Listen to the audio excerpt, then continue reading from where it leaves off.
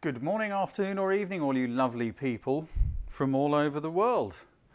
I've been sitting here watching you chatting and saying hello to each other. I just think it is completely awesome that you are all still here. Welcome to the Photo Creative Plants and Trees Challenge.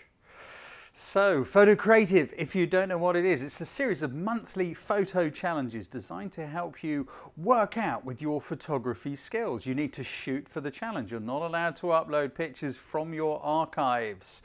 If you would like to join in with these challenges, please click a link in the description area below that will take you through to my website, explains everything you need to know, how you join in, etc. I want to give a big thank you shout out to everyone who makes donations to help keep Photo Creative going. Big shout out to Jane Barnes who has just donated 20 bucks. Thank you Jane, that is really appreciated. We all owe you and everyone who makes these donations a debt of gratitude. You can support these challenges by clicking the little dollar button below this live stream, or if you wish, you can sign up and make small regular donations on the web page. Again, the link is in the description area down below. So how are you all? How is everybody? Just say hello, just stick in. Are you all well? Are you all happy? It's just great to see you, as always. All these regular faces we're seeing, and also some new faces, which is completely awesome. we had a fantastic weekend workshop in Switzerland last week. It was absolutely awesome, and I know some of you guys that were on that workshop are right here tonight, and it was just brilliant meeting you in person, some photo creatives as well as others. Uh, we absolutely rocked it. You guys rocked it. It was a superb weekend workshop. Hello, Jules Vids. I'm not going to use your real name because you obviously, you know, there we go, using your avatar. Absolutely brilliant.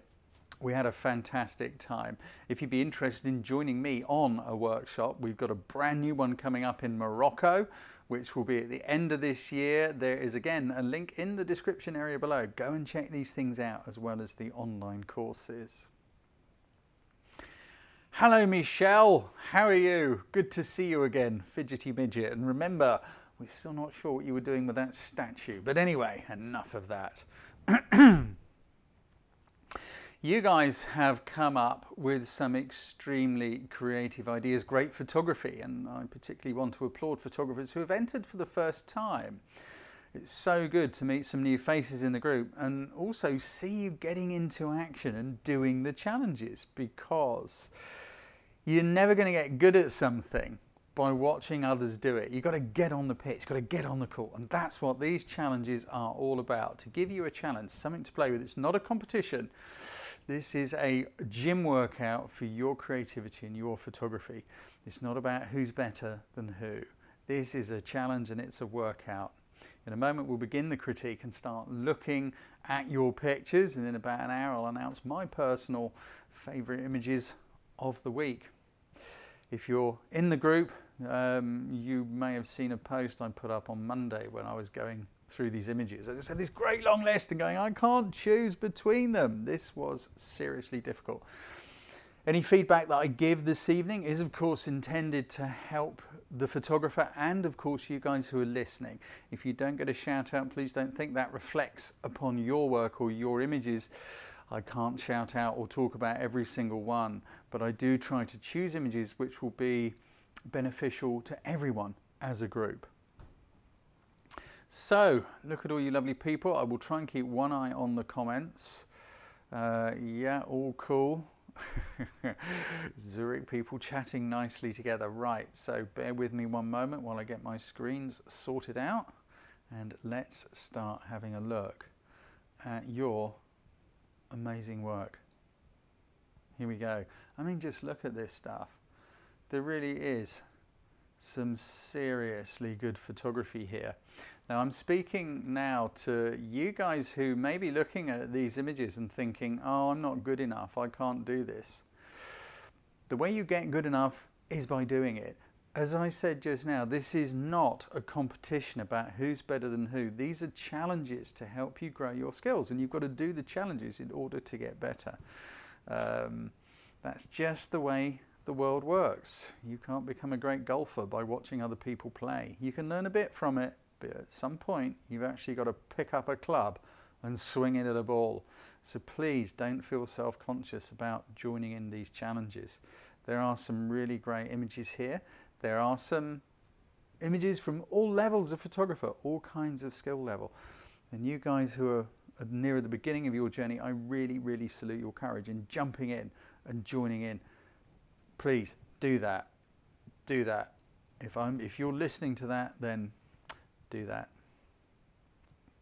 What have we got? Glyn said, Have I got new glasses, Mike?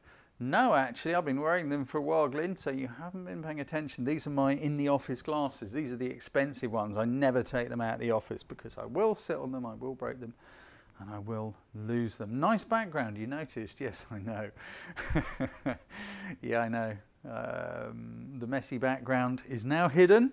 Uh, I've also moved fairly recently this weekend. I moved, as you may remember, I kind of moved out where I was for a long time. I've been in temporary accommodation and I have now moved somewhere else. So uh, maybe the next one will be coming from my new office because I will be moving out of here as well um, as things progress.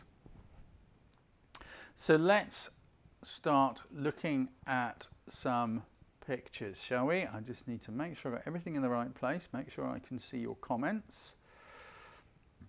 When I'm looking over there, I'm looking at comments and things on the other screen. I think we are good.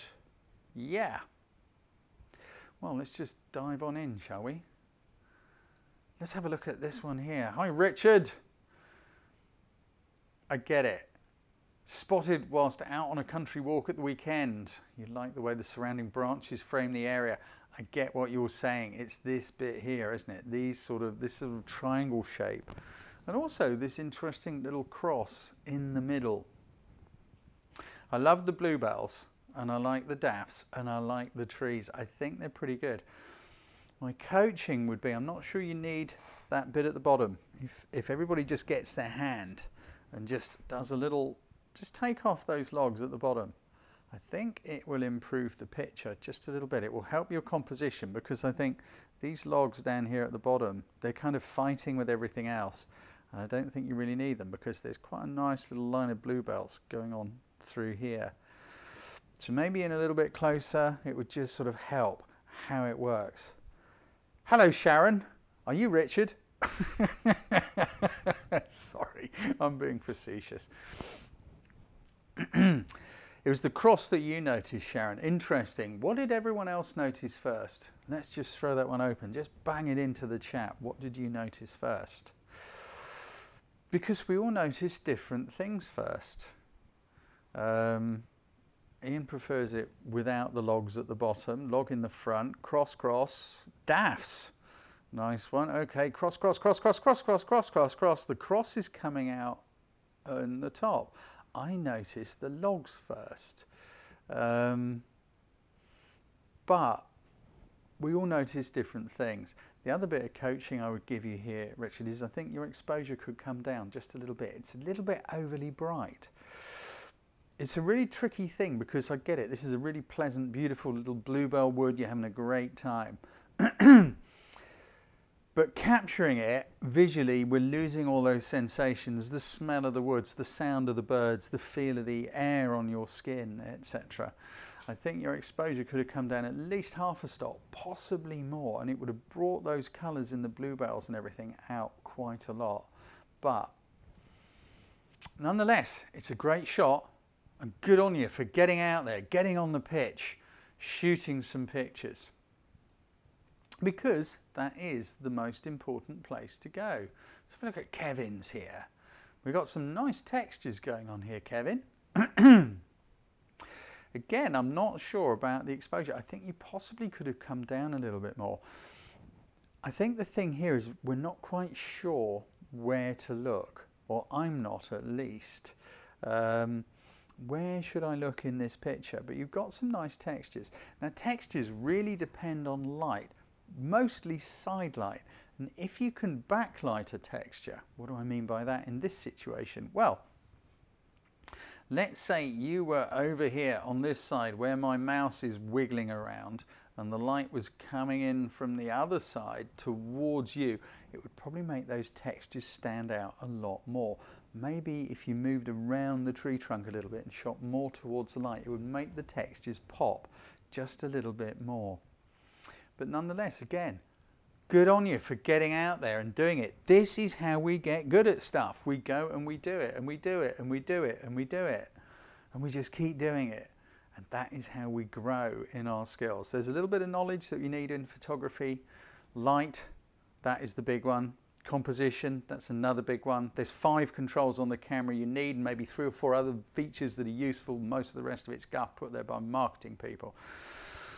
My online masterclass in photography can take you through all that effortlessly and easily if you would like to jump on board and find out a bit more about that. Because until you can control the tools of photography, you can't really do photography. Because if you're thinking, what shutter do I need? What aperture do I need? How do I change this? How do I set that? What settings do I put on the camera? You're not able to concentrate on things like where is the light coming from? Where do I need to stand? How shall I compose the picture? Lindy, we'll let you off for being late, but great effort. Thank you for entering it. So many pictures that hurt. Now, we had a conversation in Zurich about a joke that was going around in this group. I'm sorry, but in my opinion, for just too long, too long, it kept reappearing. However, that is such a great picture, Joan. I have to just pick it up. Um, you know, it really is. You've got some lovely, lovely light going on here. And that light is just very subtly coming towards the camera. If you look along the top of these branches, see there's a little bright area and then a dark area. That light coming over the top is just wrapping around the branch and giving it a shape. It's also doing the same to the duck, which is just sitting there looking real dopey and sleepy and all the rest of it. But one of the things that works really, really well with this is look how few colours there are. There isn't a riot of different colours going on. Now, I'm not saying a riot of different colours is a bad thing because some images absolutely work. Think of the Mela Festival in India where they're all throwing different coloured powders over each other, crazy colours. But it also works with this. What do we got? We've basically got tones of black and white and green. There's very little else going on. And the most colourful area of the picture is, of course, your duck. Lovely bit of a reflection, nicely composed, very well executed technically. The duck is nice and sharp, carefully focused, a wide aperture with a longer lens to separate the duck from the background, and you have got a really nice shot. Congratulations. It's a real good one. Where else do we go? It's just, oh, there's so many here. I'm not killing you. It was agony. I'm going to talk about this one of Helen's for a moment because we're now going into a very different realm of photography here. Look at the simplicity within this image. Well spotted, Helen. Well spotted and very, very well executed too. Look at the camera angle. Helen has got down very low, very low. Um, Oh, I've just seen a comment from Glenn. Glenn, you are, of course, probably the most argumentative person in this group, but you do have a point. a duck isn't a tree or a plant, but it was surrounded by them, so I'm just going to let it go. She still didn't get into the points at the end, even though it was a great picture. Um, Helen, back to you. Very well executed. Look at this gorgeous sky, this sort of diagonal line of brightness running through in between those clouds and this sort of interestingly shaped tree. The way it's just sort of come up and hung over back down. It's almost like, I don't know, a bride's veil or long hair flowing down the back. Black and white, I think, totally works for this. It is very dramatic. It does just come together really nicely. Simplicity works. There are times when lots of noise and lots of colour will work too. it's finding that balance because there's no rules in photography. It's a creative thing. And also, of course, what one person likes, another doesn't. Great shot, Helen. Another one which I really like from uh, this one here, Rafal. Very different take on it. Cloudy, rainy day. You know, lots of photographers think, oh, there's no point going out, the sun's not shining. Well, here you go. We've still got a really nice picture here, great picture. Rafael, I don't know if you're here. I'm just intrigued because I'm getting a hint of Lensbaby about this. I could be wrong. If you're here, I'd love to know, did you use a Lensbaby? What do I like about this? Well, there's movement in it. There's quite a lot of movement in it. You couldn't look at this and say any one part is actually pin sharp. Does it matter? Well, I don't think so because it's kind of it's kind of giving an, a, a, feeling, an imprint. It really does have the feeling of a cold, rainy day. The little, it's almost like the tree is shivering as well. That little human figure down the bottom, and I think it's a human figure. It could be a fence post. I'm not entirely sure, but I'm going to take it that it's a little human figure walking through the misty, rainy day. Again, very simple. We've got greys and greens and a little bit of sort of ochre yellows in the tree. Hey, Raf, good to see you, buddy. A lady, a lady. Um, fantastic. but yeah, it's a beautiful shot. It's really well done. It's, it's, it's well executed because, you know, people say, well, it's not quite sharp. Well, sometimes things that aren't quite sharp work. Maybe it's not quite sharp because of moisture on the lens. You know, the lens may have been a bit steamed up. Maybe it's a bit of a slow shutter speed. Either way, it doesn't really matter. It does work. Excuse me. Let's just scroll down a little bit further and look at a couple of others somewhere because there are so many cracking pictures in here and I want to try and help others as well along the way. This is one I agonized over a bit. Hello, V. nice to meet you. I don't think we've seen you here before, so it's great that you've posted a picture. And I love the colours again. It's so simple. Look, the earth of the field and the trees, very, very similar colours. We've got a little bit of green, then we got that same repeating colour against that cloudy blue-black sky. I love the little row of trees all nicely in a row. I really do think it's a great picture. My coaching for you, Hillevi, I'm probably saying a name wrong, forgive me if I am, would be we probably don't need quite so much foreground. This area at the bottom, where those little birds are, I think that is probably a cut-off point just below there. So let's just have a little thing. Get, get your hand out or get an envelope or something. I'm going to try it with an envelope and see if it works and just kind of close one eye and just take off maybe two thirds of this space below those birds sitting on the ground there, eating all the farmer's seeds. I just think it helps. I just think it helps. What do you think, guys? Try it. just take off maybe two thirds of the bottom and just see what you think. Just, just sort of take it off so it's a little bit below those birds because I can already see a little bit of controversy here. Alec loves the trees being in the middle. I like them being just slightly down a bit. Lost Shepherd says there's too much sky. I kind of like the sky. This is the really cool thing because there's no right and there's no wrong. Photography is a creative thing. I was at the Exposure International Photography Festival back in um, February, where I got to meet and hang out with um, Steve McCurry, possibly the most famous living photographer on the planet these days.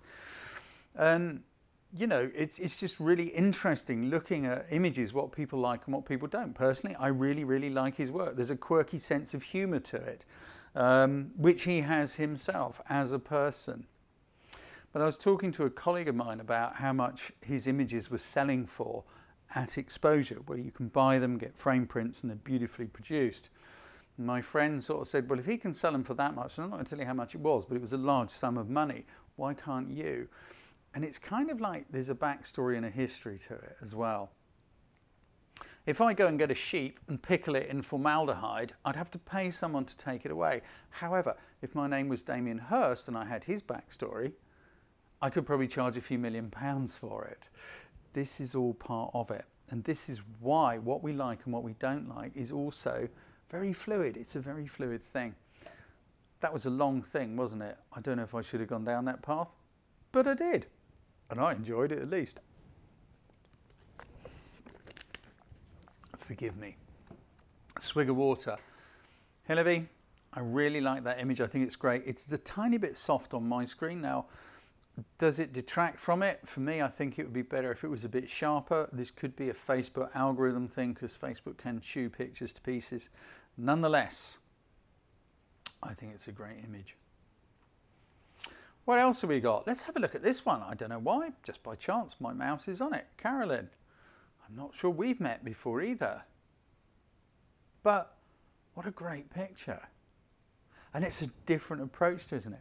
Shooting at night, doing this in the evening, and there's still just a little bit of that blue in the sky.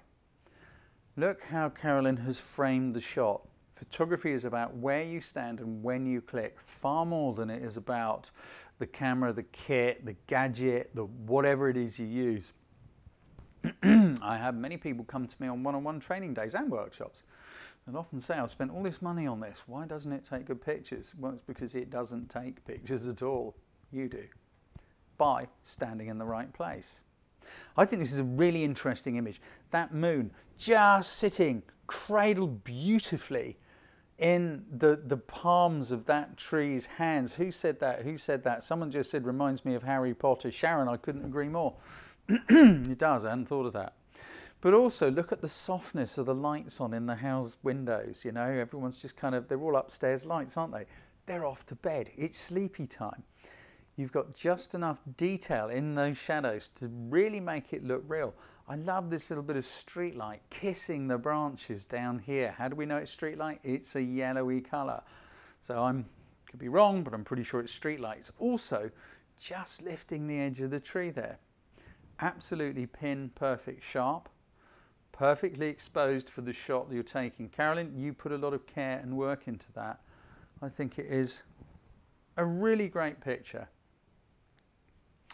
And I just pull these things apart for you guys a bit because I just want you to think a little bit about the work. It's not just like, oh, that looks nice and click. It's like, where do I need to stand? How do I need to, what do I need to do to make sure the camera is nice and still, to make it sharp, to be whatever we want it to be? Hello, Jan Roberts. Fairly calm day after days of wind. You had wind. I am sorry. Um, surprised there is anything left to photograph. Well, yeah, but you found something. And again, look, light. Light is king. Look how Jan has got all these little whiskers on these little little you know, bits of stem standing out. It's because the light is coming from behind. It is also the light coming from behind the flower, which is showing all these little veins, the translucency of the petal. These are all the things that work, that, that bring it together and make the flower stand out. My coaching, um, Jan, would be there's a little bit too much going on behind the flower. That flower against blue, I think, would look great. Now, you have used a wider aperture, um, which has thrown those flowers into, you know, the sorry, the twigs and things behind a little bit softer. Maybe if you could have found an angle where that, particularly that pinky red one behind wasn't there, I think it would have helped. Maybe just tilted the camera up just a touch so you just had the two white ones and maybe move to the left a bit. I, I wasn't there, I don't know. This is just my coaching, which I think might have improved it a little bit. But you've got your exposure pretty much spot on. You've got some nice colours, and I love the way you have chosen to backlight this and let the light come towards the camera. That is why the things that work in this image work. But I think it would have been better composition, just tilt the camera up just a little touch. Where else shall we go? So many, so many, so many. Let's scroll down a bit. I'm sorry if one of your images is being missed. I can't go through all of them. And boy, did you excel yourselves this time. I think this is really interesting, Anton. I like the way you've done the framing here. The statue on the plinth I love the position as well and the way you've just found a little gap through the plants and used the plants to frame that human figure. As human beings, we are, draw we are drawn to human figures. Something in our ancestral past makes us recognized human figures. We look to see what is going on, where is the threat coming from, who's coming from the next valley to steal our, our pigs and our sheep and our food and raid the village, etc. And that is why we see faces in pieces of toast and clouds and stuff like that. Very deeply psychological, but your framing is beautiful, your composition is spot on. This sort of composition works. What Anton has done here is use something to frame something we immediately look at, a human figure. And that is why we go bang straight into it. I have a feeling you could have possibly come in a little closer, maybe made your lens a little bit longer and lost just a little bit of the plants because they'd have still been there and then Glyn wouldn't be able to complain that there wasn't enough plant in the picture. But yeah, just kind of cut it in a bit. I'd, I'd just take a little bit off the sides. Try it. Try it. Let's get our hands. Let's just crop the sides just a touch. I think losing just a bit off either side makes it a bit stronger. It's a good shot. It's a good composition. It's well executed and I think the black and white works really, really well. Oh, Beverly. You've been here for a long time. You are one of our hardcore originals. Again, it's a really nice shot. And the light is, in this case, coming from slightly in front of the camera, but above and to the side. That's why we got this little shadow here. But again, it's simple. The flower behind is very soft. The background has got this wonderful softness to it. Bokeh, I believe, is still the buzzword, but it is a very gorgeous picture, Beverly. And you know, we've seen you do these sorts of things before. You are good at this sort of stuff. I like the space you've allowed in the composition. It's very easy to get carried away and go, let's fill the frame completely with flower. Um, but it works to give things a little bit of breathing space. You know, just give it a little bit of space, let it breathe, let it breathe, because actually I think it helps to emphasize the plant. Long time ago, I went to see Riverdance at um, the Bournemouth International Centre and what completely blew me away was the way they used the space on the stage, the way they'd have a line of dancers here and something else here, and a gap and a space between things. And it just looked phenomenal. It was probably the first time I became aware of using empty space and just putting little bits and pieces in it. Look for that in your compositions because it will help. Great shot, Beverly. Look at that, look, we haven't even moved an inch and it's almost half an hour in. Let's go a little bit further. Another one of our regulars I do just want to throw a shout out to, and that's George. Because you always come up with a quirky, different idea. You're good at quirky, George. I think we all know that. But, you know, plants and trees, the willow pond. And it's a good shot too. It's a nice shot, you know, the pub on the corner. I think the way you've gone for the black and white, slightly sepia look and the you know, the, the light vignette, it kind of works. It kind of works.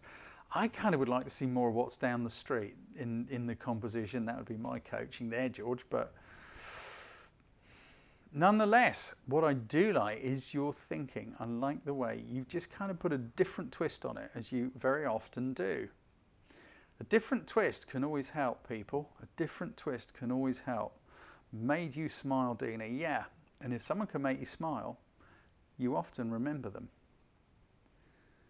What a lovely, soft, gentle image this is. When I say soft, I mean soft as in it's out of focus.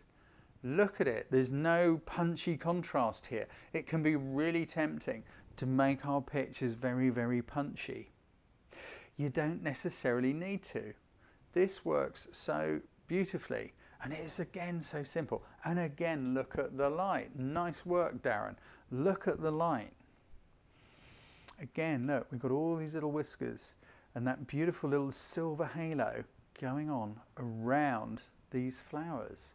And that is because the light is coming from in front of the camera back towards it. I bang on about this a lot, I know. Light is king. And if you shoot against the light, it often works. Also love this, you know, slight pinkiness here in this soft area. But also I love the way you've treated it and kept it gentle kept it soft. I Haven't tried to pimp the contrast, to go mad trying to lift the colours up because it doesn't need it. Uh, I think your composition is bold. Just having this sticking up in the middle, great. The rules say, and so do the keyboard warriors, oh, you mustn't put things in the middle. If it looks great, put it any way you like, because that's what composition is. Just finding the angle, finding the place. What looks great? Great shot, Darren. Let's scroll on down a bit. Matthew Parsons. I'm sorry, I'm going to take I'm going to take Glyn's side a bit. You're getting a lot of attention tonight, Glyn. I don't like this. Um, plants and trees. This is far more horse and tree or pony and tree. Now, I'm not saying it's bad, and I get the thing. I get where you're going. You know, yep, your favourite tree to run up against. It's a nice picture of a pony. The ears are forward and all the rest of it. Um, but it's not quite coming together too well with the theme. I like the tree part, I must admit. It's a dead tree and it's gnarly and I like the shapes. Um, what can I say? You've actually got backlight going on in this again too. Look, look at this highlight up horse's face, the ears, down the mane, over the back. These are things which are all helping. There's a little bit of a highlight here in the log. But um, I don't mind, Matthew. You said you'll try better this time. What I'm saying is I totally salute you for getting out there and doing it and doing some photography. So good on you, buddy. Good on you. Please don't think I'm knocking you in any way. I'm not. How could this shot work better? As a shot, as it stands, I think possibly if you could have had a little bit of connection with the pony. If you could have, something works well with ponies and animals, dogs, cats, and all the rest of it. Make a little noise like, i like making animal noises. It's just a pastime and a hobby I've had for a long time. But make a little noise. Click your, click your fingers. Stuff like that. Click with your mouth. Make pony noises. make, make a dog noise. Bark at it. If you can get the horse to turn around and look at you, just in that moment of look, often the ears will be forward. You've got a connection and it will help make your picture pop. If a pub can be a tree, why can't a tree be a tree? Thank you, Sean.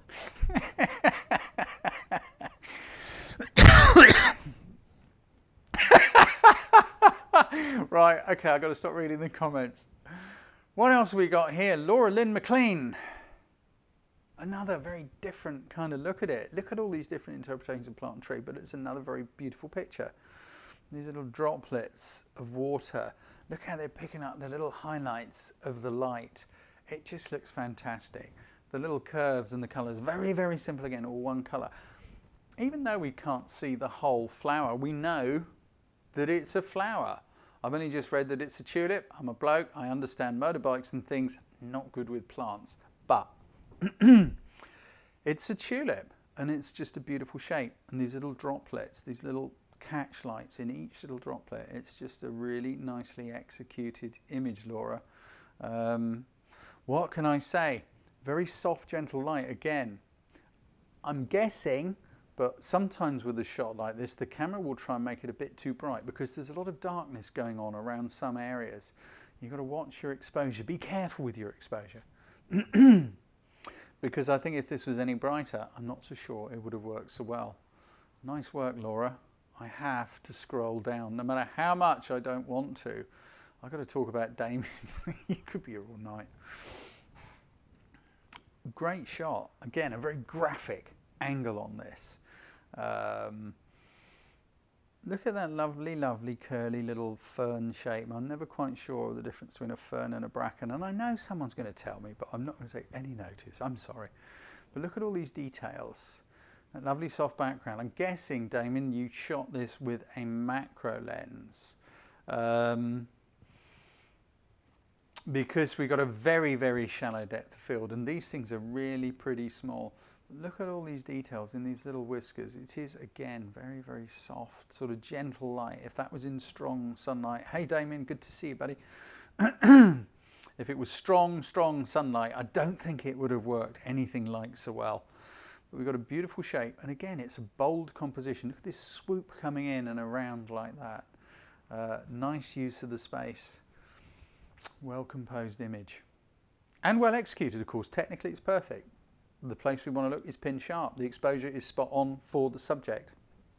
Depth of field is very shallow. It concentrates us on the subject, but if you're shooting with a macro lens, you get a very shallow depth of field anyway, because the closer you get to your subject, the shallower your depth of field becomes. Depth of, depth of field is a moving block of sharpness. As you move further away from the subject, the depth of field gets bigger and bigger and bigger until eventually it reaches a place where you cannot blur the background. And the closer you get to your subject, the tinier and tinier that depth of field becomes. Aperture is not the only thing in charge of depth of field. Gosh, there's some great pictures here. Cornell, Another very bold picture. So many of you were in my folder to choose from, but hey. I love this splash of, of sunshine, of light. I love the way it's sort of shattering and sort of, you know, bursting around. The way the light is coming through and showing these little veins, it's just kissing around the edges. And again, look, got this little rim light. We can even see some little cobwebs, very, very soft, gentle background. It's a kind of dark and moody look. Again, I really, I really like your, um, your use of space to include, I'm guessing it's the sun, it, it, may not be, it may be an artificial thing, but nonetheless, um, totally agree, Atta, it is a lovely, lovely picture. It's just dark, it's just calm, beautifully executed. Well done, Cornell. I have to move on just a little tiny bit here. Let's have a look at, hello Dan, another long time person. I kind of like the way you have got the trees and the clouds. You've almost got a sort of mirrored shape going on here. I think this is just my coaching to you, Dan. Maybe give those trees a little bit more breathing space. Maybe include a bit more sky. Let's see a bit more of that cloud. Now, I don't know if you're here, Dan, you often are. It'd be good to know. Did you spot this, this sort of mirrored shape, the tree sticking up and the cloud sticking up? Maybe you did, maybe you didn't. Um, however, I'm just watching the comments in case you're there. Um, however, we can see that there are blue holes in the sky. Those of you who've done my seven building blocks of photography course know what I'm talking about. Blue holes in the sky. Blue holes mean shafts of light. And I think maybe if you've got a bit of light just hitting and picking out these trees a bit more, maybe just give them a little bit more space. Come back, give them a bit more space. Maybe even let that cloud move over to the other side so you could kind of have trees and cloud. I don't know if you can see me yet. Trees, cloud, more that sort of thing going on. Um, I don't know, it's just my coaching on it. Nice idea though. Haven't seen you there, Dan, so I'm guessing you're not with us this evening. But thanks again for entering. Oh boy, there's so many pictures here. Look at them all. Just look at them all. Roger Chesil, look at that lovely pic. I'm just going to quickly pick it out again. Look at this. It's nice and it's dark and it's moody. Using light and shade. Very, very close in beautifully executed picture. Now, again, if you're one of those people I was talking to at the beginning of this about, you know, you might be thinking, I don't want to enter a photo challenge because I'm not good enough. The way Dan and these guys got as good as they are is because they did keep doing it. Hey, Dan, good to see you, buddy.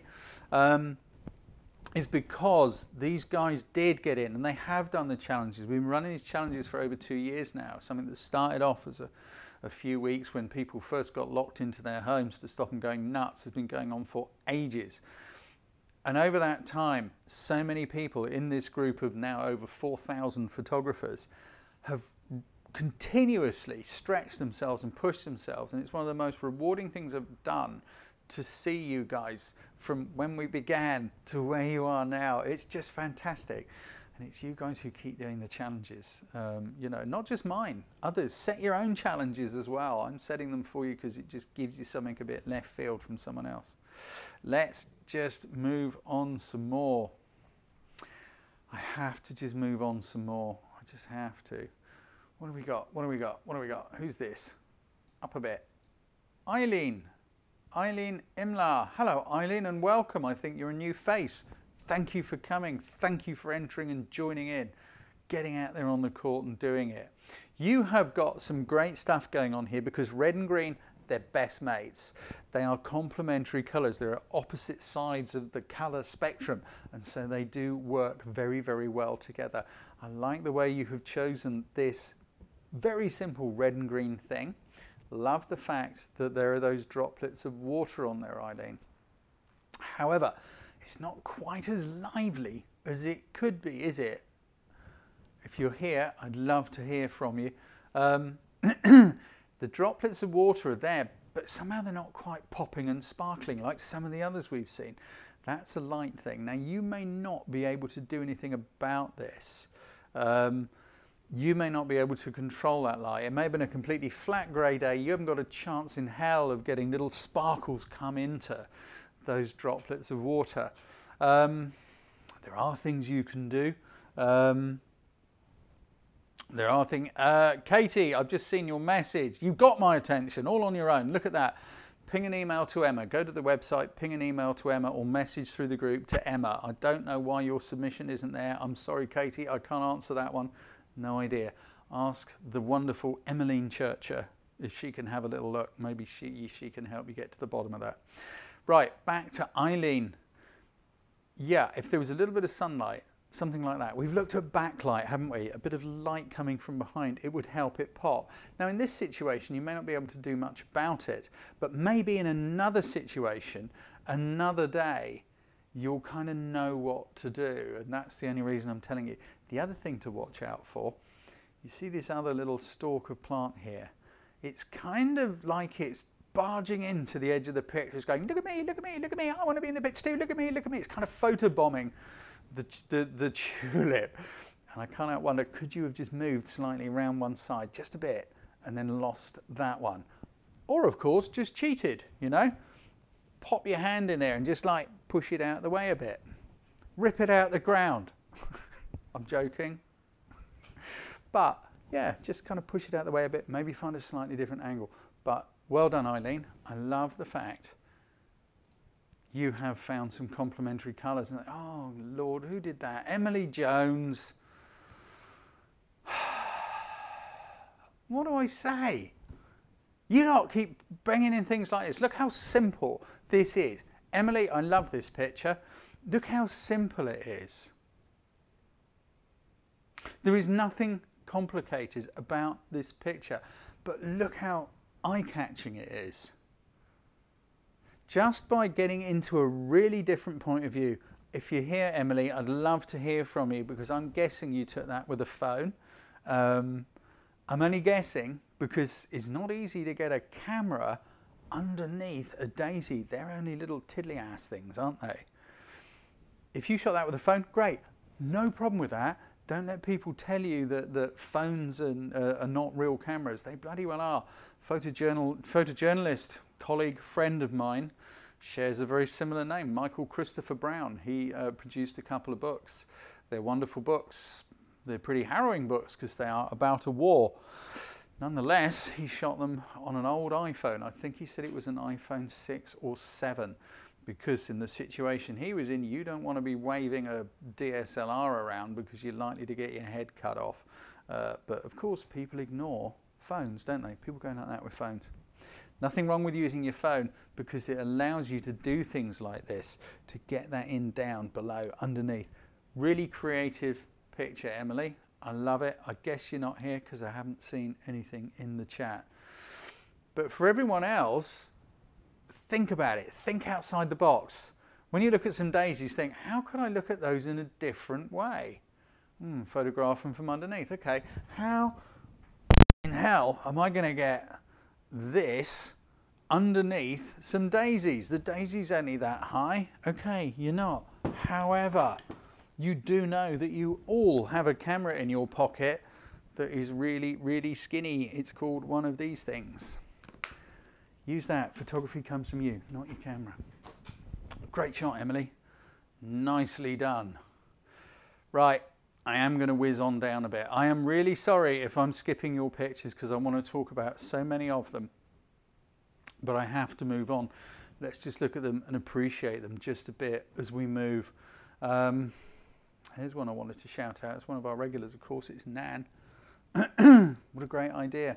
Nan, you were in and out of my folder continuously, but in the end, I just had to. Um,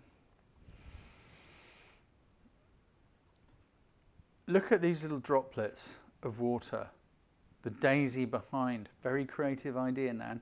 Um, really nicely done. So how was it done? Uh, Nan, you can tell us if you like, but I think I'll jump in anyway. I'm going to guess, because I wasn't there. However, it's a really great and simple technique you could do at home. Sheet of glass, pop the daisy underneath the glass. Uh, one of those little squirty misters, yeah? You get a few droplets of water on that sheet of glass and then those droplets of water will then pick up and do this marvelous reflection, refraction sort of shape of the daisy underneath. I'm guessing, but I think that's the way you did it. Um, if you're there, Nan, just say yes or no, Brown, you're an idiot. I'll accept either. But it's a great shot. How creative is that? How creative is that? Very, very planty, lovely simple colours, great shot. Gelatin and water. Yeah, Rob, you're right. Yeah, it can be done that way. You did this for the clock one, Jane. Yeah, cool. Great shot. oh boy, this is just so much. I'm going to have a quick look here. I don't know whose that is. Anne Franks. Hello, Anne. Again, look, what a great picture. And I think, Anne, I think you're new here too, which is awesome. I don't, forgive me if we have met before. There's now, the group has got so so large and I just love the fact you're all here. But again, very simple.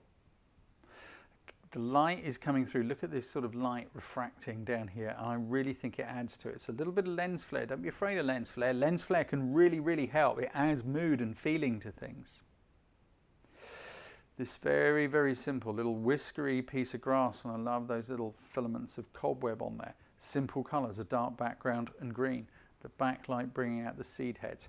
My coaching for you, Anne, would be try and get that exposure down a bit. This is just a little bit overexposed and it's a shame because it's sapping some of the colours and the life out of it. Um, it's a difficult thing to remember. I know there's all these layers that you sort of have to stack up one behind the other.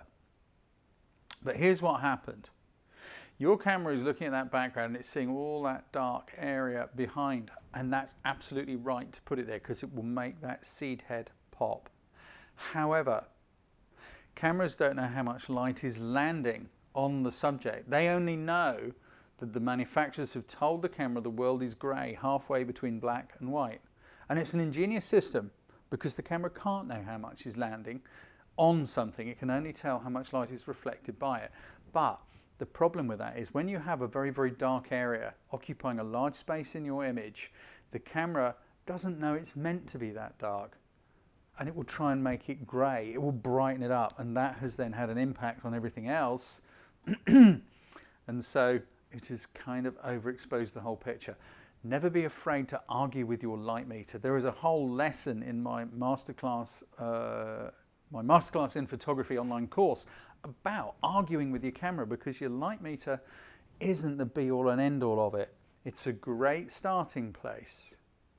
But if you're shooting in manual mode and just doing what the light meter tells you, it's the same as being in full auto. It's just that the camera's making you twiddle the knobs and dials instead of doing it for you. You need to use this thing and think what you want to do. Thank you, Laden just said uh, that's what the seven building blocks of photography are for and it's really worth it. Thank you. Anyway, great shot, Anne. I really like it. Hope that little tip, that idea helped. So many great pictures. Now, I'm only going to do this, Brett, because it's down the road from me, isn't it? You've probably seen lots of pictures that I've taken down there. Lovely sunset, very popular spot for sunsets, this is. See photographers down there almost every evening. It is a beautiful, colourful thing. It looks a little bit over colourful, if you don't mind me saying so, Brett. It's almost like it's just a touch too much colour going on in there. Did you pump it a little bit? Very tempting to do that. But that said, I have been and photographed some sunsets and ended up taking some colour out of it because I thought, it just doesn't look right. But, uh, but it was, and that's what it was. It's a great location. You've got your exposure absolutely bang on for this. It's a very difficult thing to do, isn't it? I might have been tempted personally to increase the exposure a bit and let some of this bright area here where the sun is just burn out a bit because it does to your eye naturally. Don't worry about the odd burnt out highlight. However, if you were going more for the silhouette look, you've achieved that perfectly. There's nothing more, you know, to add to that. Something to watch for for sunsets is trying to get out there when there's some cloud in the sky too. And I know it's not always possible. This is a great spot. Lots of people I know drive past here on the way home from work at this time of year and go, wow, look at the sunset. And they stop and go and shoot pictures. And why not? the hardcore landscape photographer always likes to have something in the sky. Just suggesting it, Brett, in case you get the opportunity to go back there look at the weather, you think, mm, yeah, there's a few clouds in the sky, but there's a gap above the horizon, we might get a really cool one. But thanks for entering. Thanks for being there. And good on you for getting out there and shooting some pictures yourself. Ah, boy, where do we go now? Where, where, where do we go now? Whose is that beautiful bluebell wood? Lindy. See all these little patches of light? Light is what makes and breaks a picture. The way we've got these little patches of light in the bluebells, I actually think bluebell woods are pretty difficult to photograph because it's often a bit of a mess of trees and plants and it's like where do I look and how do we make something stand out? And I think you've done this really really well Lindy. The sun is quite low in the sky. How do we know that? Look at the light on the trees you see? It's all down one side. It's all down one side but it's these pools of light that are giving us something to look at. Look, they're meandering us up and around the image and sort of we're going around the corner and up the hill and down the bottom. We're following this path of blue in the bluebell woods. Beautiful things um, if you don't live in this part of the world, you, you don't get bluebell woods. It's a shame because they are lovely, though I'm sure you have other things. But it's light and shade. Lindy has done a great job here with exposure as well. Remember we were looking at, at, that lovely piece of grass of Carol's. That piece of grass, the camera saw the darkness and it overexposed the picture. If you're here, Lindy, I'd love to know. I'm guessing with a scene like this, the camera would see all those dark shadows and it will try and make the whole thing brighter. That would make these little pools of light too bright, which suggests to me that Lindy has looked at the scene, known the camera will do that, and then purposely argued with the light meter and toned that exposure down a bit. I'd stay away from the term underexposed the shot because she hasn't underexposed it. She's captured it perfectly, but it is less than the camera may have said it wanted to do. Hey, Lindy, yes, absolutely. You reduced the exposure to get the look that you wanted. This is the thing. Cameras don't take pictures, you do. Great work, Lindy. Lovely shot. Where should we go? Let's just wander down through here, just look at a couple more pictures and then I will go to the ones that I picked as faves. I think there's a lovely, who did that? Wendy Lamb. Hello, Wendy Lamb. How are you doing? Oh, Wendy was on the workshop down at Mudeford. How long ago was that, Wendy? Not long ago. But this is a great bit of panning. Wonderful bit of tree panning, not as in trepanning, but tree panning. Um, I really do think that's a cracking bit of panning because to, to keep the lines absolutely straight, it takes a bit of doing and also finding the exposure which will give just the right amount of density um, to, you know, the movement. If you're not sure how Wendy did this, it is about setting a slightly slower exposure. And then during that exposure, either moving the either opening the shutter and moving the camera up or starting with the camera up and moving it down. Probably not a lot of movement. Which way did you go, Wendy? Did you move the camera up a bit or down a bit? Interesting to know. but it's a very creative shot and it's very well executed because it's easy to get a little bit of side to side movement in it and that sort of doesn't help with these, these verticals. But the other thing here is Wendy has shot this in some really nice light. You see these highlights coming down the side here. There's some nice side light going on and it's really helping with those trees. A lot of attempts. yeah, absolutely, Wendy, you do. You often have to do loads to get it looking the way you want it. And so Wendy has just said she was click, moving the camera up as she did the exposure. Um, slowish exposure, I don't know, I'm going to guess about an eighth of a second, something like that, I don't know. My coaching, Wendy, may be, I don't often crop things, but I might just take a little bit off the bottom. That's all. I just take a little bit off the bottom because the trees are the exciting bit. Not much, just a little bit because it needs that ground to anchor it. But great shot. Good one. Where else should we go? Oh, so many. I want to have a look at this one. Anmol, hey there. Thank you for being here. I don't think we've met. I think you're another new face, and that's just awesome. but I think this is a great picture. I think this is a great bit of sunset. I'd love to know. Where are we? Okay, hills around Mussoorie in northern India. Wow. I want to go there. I want to go there. The way the light is just playing over these flowers again look you see there is the darkness there's there's the light in the sky it's just gently gently putting little highlights around these plants. Um, Anmol has also I would guess possibly pulled the shot down a little darker than the camera wanted to make it to make those plants not quite silhouettes and I think that is, is, is what's giving it a nice touch. Plus of course this beautiful misty mountain going on.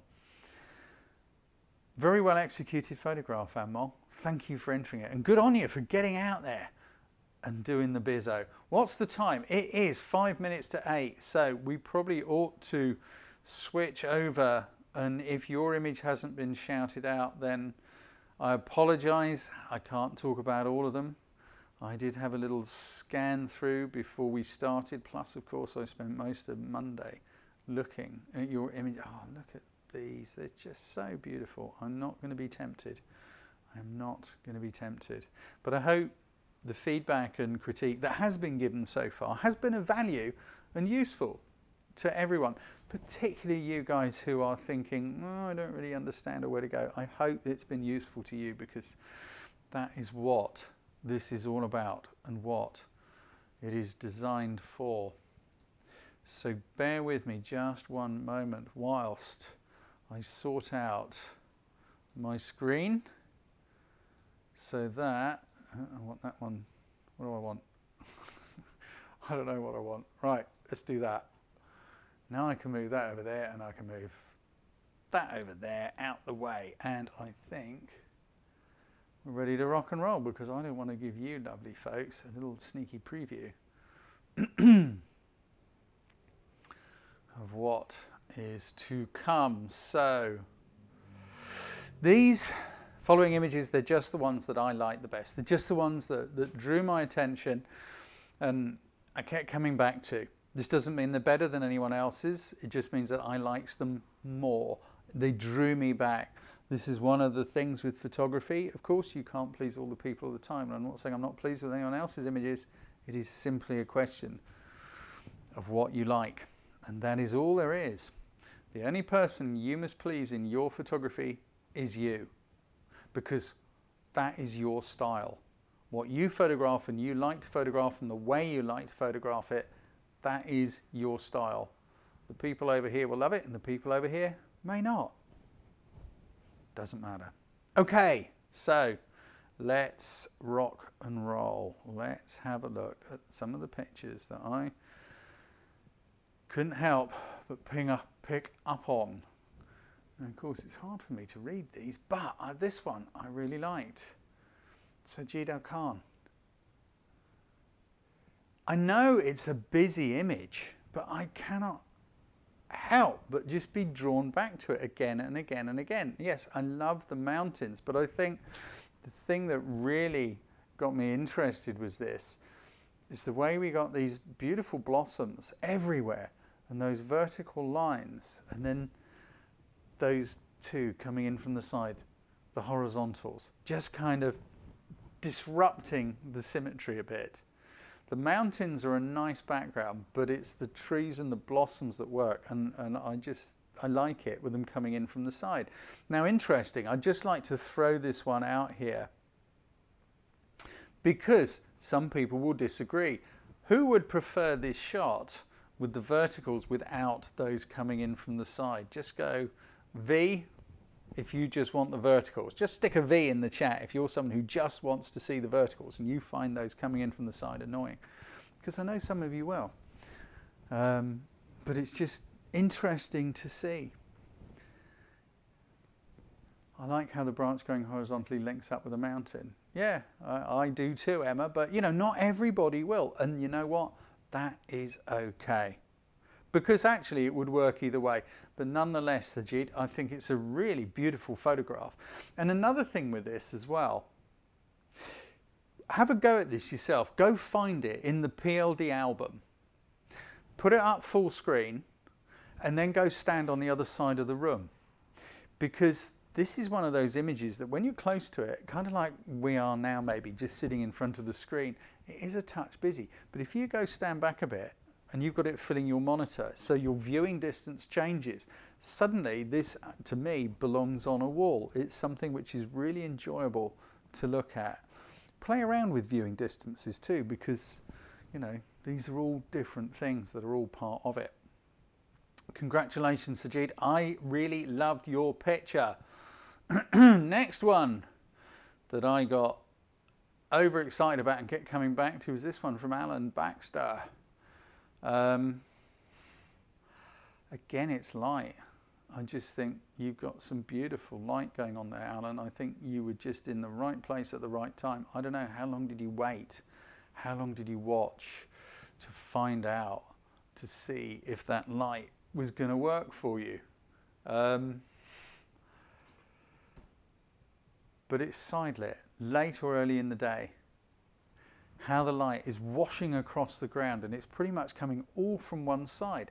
The other thing with this light is look, it's all coming from the right of the frame and the tree is curling to the left. It's almost like the light itself is blowing the tree in a breeze a little bit. Um, okay, I'm going off on a slightly crazy flight of fantasy there. But nonetheless, You've also got this pool of light against a dark background and that is helping our tree really pop and stand out against that background. Um, hey Alan, good to see you. The tree is just behind my back fence. I watched the sun going down and bounced. Good on you, buddy. but this is all part of it. Watching the sun go down and, and then going, oh, look, that works. So, you know, Alan, what Alan is saying is here is he was led not by the tree, but by the light. So if that's in Alan's backyard, think how many times Alan has seen it, or just behind his backyard. Think how many times Alan has seen that tree. But he's chosen to photograph it when the light's right, because light is king. Light is the most important thing that will make your pictures absolutely pop. It will make or break. Beautiful shot, Alan. Thank you for joining in and for inspiring us, all of you, for inspiring us. What have we got here? Our next shot. I really, really love this. I love all of them. I love all of you. I think this is another very pastel, gentle, lovely shot by Liz Worth. Um, I think it's a great image. Again, it's simple, it's gentle, kind of like the soft pastel feel to it. It's not got too much pump into the colours. The way it just kind of makes it just sit there gently. But look at that little highlight on that flower bud and look at the textures on that bowed leaf, that back of the leaf, the way it's just curling over. The light is again just coming from slightly in front of the camera. This front lighting is such a good thing because the light is just washing across the leaf and it's bringing all the veins and textures, just putting that little highlight. But look how the background is all nice and soft. But it's also, the whole picture is made up of about, what, two or three colours and different tones and shades of it. Great shot, Liz. Thank you for doing it. Well done on you for getting out there and entering and doing what you can because that's what it's all about. Now, my next image that I kept coming back to could be just a little bit contentious. But, you know, what do we do? You just got to be authentic and honest. And I just thought this was a very different take and a very different image. Um, and I just really like it. Marika. I just really, really like the juxtaposition of the man-made and the plant, and yet they are all in exactly the same kind of place. They're all in the same state of disrepair, if you like. But again, look at the colours. The whole picture is almost made up of about what? Two colours. There's a little bit of green, a little bit of yellow, and everything else is basically shades of brown. Personally, I really, really liked it. I love the way you frame this, Marika, with the, the two uprights and then the slightly wilty, like it's about to fall over flower. Um, I think it's a really strong image. Personally, I really like it. George, yeah, interesting. You said Ch Chernobyl Garden. The phrase Chernobyl came up when I was looking at these with my friend uh, Louise, who owns this office, uh, who works in this office, runs a business in this office, saying, what do you think of this? And, you know, and I think the phrase Chernobyl came up there as well. But I think it's a well spotted and well executed image, shallow depth of field, so that we know what we're looking at. A brave composition using those two verticals and allowing that flower in the middle just to sort of wilt over and sit in the middle. Um, it's almost like it's looking at us. It's almost like it wants a hug. Evelyn, I totally agree. Unconventional but super. I think I couldn't put it better. So I'm going to shut up. Well done, Marika. now we're going into some beauty from one of our long-time regulars from Jane Kilbride.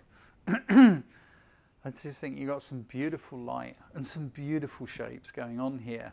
Um, you know, yeah, you've been around this group right from day one, Jane. In fact, I think you may even have been, you know, the winner of the first ever PLD. I'm not sure. I just remember though the flower and the kitchen shot. It was Heart of the Home. I think Esther Suarez, the photojournalist, came up with it as a theme. But you've been around this a long time. You're good at this, and I just like the use of the space again. Look at this simplicity. The light on these little flower heads, absolutely beautiful. The shapes, the beautiful curved shapes and the way one is just coming in from the side, the soft grey blurred background, the dark areas in the background. And again, look at the light. It's coming very slightly from above and behind and it's wrapping around those flowers. I don't know what they are. Tell me. If you're here, Jane, please tell me. there you are. You're Jane Mouse over there. I can't keep up with everyone having different names. uh, poor old bugger. Look at me. I've got grey hair, wrinkles, everything. Um, yeah, I think it is a minimalism. All hail minimalism. Another one, Evelyn, yeah. Um, yeah, beautiful shot. So when you're looking at pictures, if you're thinking, how do I do a shot like that? One of the key things is to slow down a bit. Think through the shot you want to take. Everybody we've looked at who's produced, you know, some really quite striking work, everything, all the striking work we've looked at tonight, that's the way to say it, the photographer has sort of thought about it. You know, our wonderful tree. Oh, the tree's been there for years, but look at the light on the tree. That's the thought about it. Um, you know, go back through these and just think, how was this created? Great job, Jane. You're very creative with this sort of thing. There's a few of you in this group um, are, and I am really proud to be part of it. So, my choice, my picture of the month, the one that I just kept coming back to, was this one. Hang on, I'm just going to make sure I've got everything right. Yep, I have. I just love this one. Virogo. Vogo. Hang on. I need to check. Vero Moga. Veromoga, I'm not sure. I think you're a new face, Vero, or you've been sitting in the background hiding. I don't know. I just really love this. Again, it's a different point of view. We've got some very strong backlight going on here.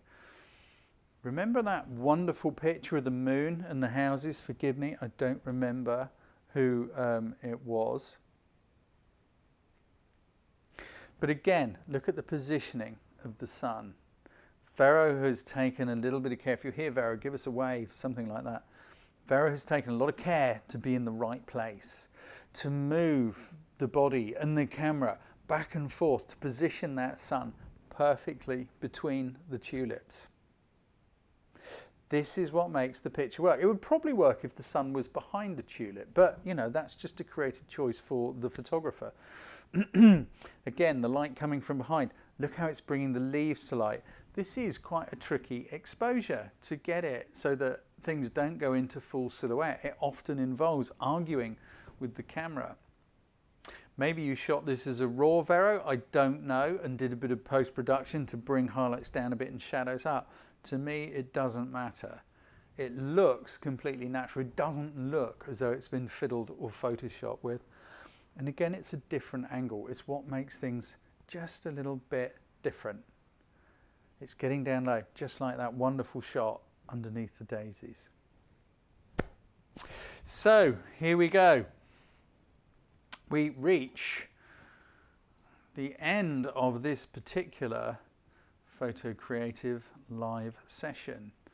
And as always, it's been a complete pleasure and a joy speaking to you guys. Thank you for being there. Thank you for supporting the group. And thank you for doing the challenges.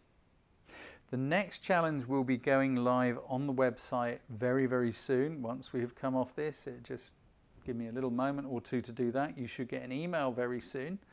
Uh, those of you who have signed up onto the Photo Creative newsletter, if you're not signed up onto the newsletter, please use the link below, go to the Photo Creative page and pop your email address in there. Because every week I do see things on the page going, how do I enter the challenge? What is the next challenge? What's the date for the next challenge? If you just go to that page, it is always on that page and you will always know and you'll never miss a challenge. One last thing, just please remember guys, shoot for the challenge. This isn't about going to the archive and finding something that might fit the theme. This is the, this is the workout. This is to get you into the photography gym, working out, strengthening those muscles. It's been wonderful talking to you. I wish we were on a stage and interacting live so you could throw comments at me rather than just chat them. Um, it's been a pleasure and a delight. Thank you everyone who supports the group, uh, both by joining in, by sharing the group, and of course, financially. You guys completely rock. I look forward to seeing you in the next Photo Creative Live. Be well, take care, have a great month. I will try and get into the group on Facebook and chat to you as much as I can, though. I know it's a bit rare. We've got, by the way, we've got a video, another video coming out from Ukraine very soon because uh, it was a nightmare to film, but there is a little side thing of something we did in Ukraine coming up some very inspiring people. Be well, take care. Love you guys. See you soon.